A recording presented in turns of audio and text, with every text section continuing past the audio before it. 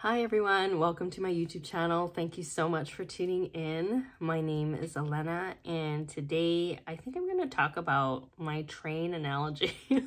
I'm sure I've talked about this before, um, but I feel like I need to kind of summarize it. Maybe this will be helpful for someone. I got myself, random note, I got myself a cute little like cup yesterday. Look, it says like, love yourself. So anyways, maybe that's a message for someone out there. Um, so the train analogy for me, like, I don't know, sometimes in life, you feel as if you've may have experienced a ton of detours. and it's like, man, I have this goal in mind, but I keep getting sidetracked here and there. I always imagine um, our purpose or our life plan to be like this one long hallway with a bunch of doors on each side and like a main door at the very end of the hallway. And I want people to, you know, be compassionate towards themselves if they happen to go to a side door and have a side quest here and then find themselves feeling as if they're behind in life because you're not. Um, society likes to tell us that we need to do certain steps here and there right after the other and like have a definitive path. And i want people to kind of shake that off and realize that your path is unique to you. You had to do what you needed to do in that time frame the way you needed to do it. And I find that sometimes these side quests are, yes, what we can choose to do. However, they still lead us back down to this main hallway, this main door at the end of our our path here, our, our tunnel or whatever. So even if we take side quests, um, we will eventually get back closer to what we're supposed to be doing.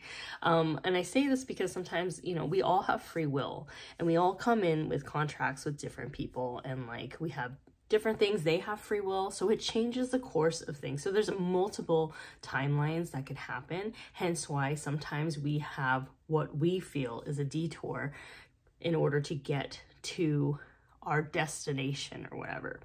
Maybe there's certain people we're supposed to meet and maybe there's certain things we need to do in order to assist us and gather information, knowledge, experience, so that when we get back into the path that we're supposed to be in, um, in terms of like that hallway, we are more equipped, we're more aware, we have more wisdom, we are more able to appreciate what is meant for us um, because that door doesn't move anywhere that door is destined for you. You are the one that has the key to open that door. No one else does. You do.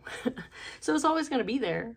It's always there for you. So I don't want people to start feeling as if they've missed an opportunity because there is no right or wrong answers.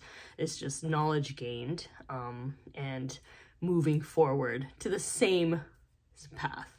Um, I kind of say this um, bringing in together like the train analogy, where it's like, it's almost like when you've finished a cycle in your life um, and you feel it, like you're done, or like your energy has shifted and you feel like a train or an opportunity is coming into your path, it's almost like you get the choice of getting onto that train and moving towards the next stop or whatever.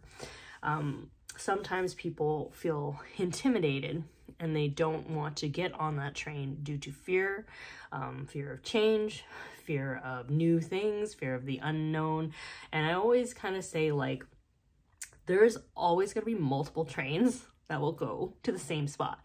It's, it's really up to you when to go. However, however, um, I always feel like there will be times in your life where you have outgrown certain spaces, certain people, um, and certain phases in your life, and your energy has literally shifted into a new uh, space where you may have made more contracts with different types of people in different environments.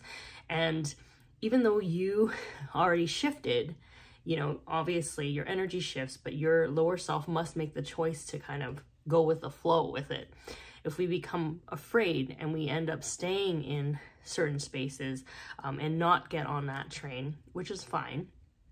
I just think that it just might feel a little bit more difficult, more resistance because you've already shifted. So maybe you start not being able to see eye to eye with the people around you. Uh, maybe you used to get along with people um, and are friends with them, but then all of a sudden it just feels like it's just no compatibility. Um, it is, or a workplace, you know, like maybe you're just outgrown that phase in your life. It's like something has happened where you already have moved. Now your lower self needs to kind of um, get to that space of going with the flow with it. And there's, there's nothing wrong with staying in that one spot. However, I, I do feel like there will be an increase of resistance and you'll feel it more.